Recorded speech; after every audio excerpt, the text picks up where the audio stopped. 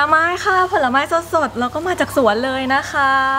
ราคาไม่แพงค่ะ เข้ามาเลือกกันได้เลยนะคะ ผลไม้สดๆค่ะ มาจากสวนเลยนะคะ ราคาไม่แพงค่ะ ผลไม้ค่ะ ผลไม้ใหม่ ๆ จากสวนเลยนะคะสดๆใหม่ ๆ เลยค่ะ มาจากสวนโดยตรงเลยนะคะ ผลไม้ค่ะ วันนี้ก็เปิดร้านมาตั้งนานแล้วนะ นี่ก็สายแล้วด้วยยังไม่มีลูกค้ามาเปิดบินกับเราเลยอะ ลไม้ไหมคะไม่ใหม่สดๆจากสวนเลยค่ะ ผลไม้ไหมคะ ราคาไม่แพงนะคะ ผลไม้ไหมคะสดๆใหม่ๆจากสวนเลยค่ะ ผลไม้ไหมคะ แก้วมังกรเงาะก็มีนะคะ ผลไม้ไหมคะใหม่ๆสดๆจากสวนเลยนะคะ ผลไม้ไหมคะผลไม้ไหมคะ ไม่ไม่สดจากสวนเลยค่ะ เพิ่งไปรับมาวันนี้เลยนะคะ ผลไม้ไหมคะ ผลไม้ไหมคะ พี่คะง้อขายยังไงคะเงาะเหรอน้องโลละ30 บาทจ้า ค่ะ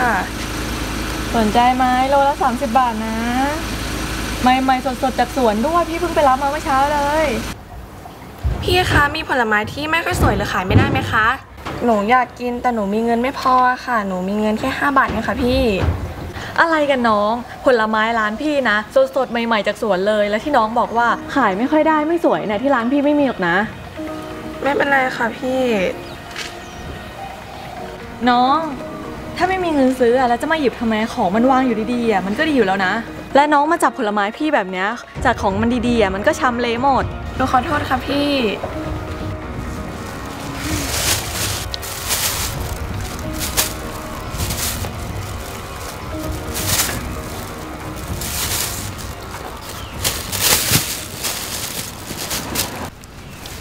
น้องน้อง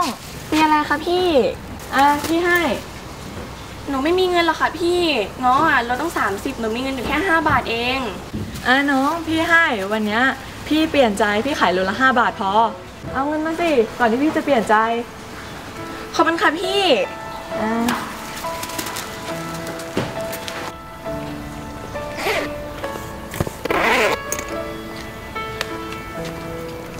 ลไม้ไหมคะ สดๆใหม่ๆจากสวนเลยค่ะ ผลไม้ไหมคะ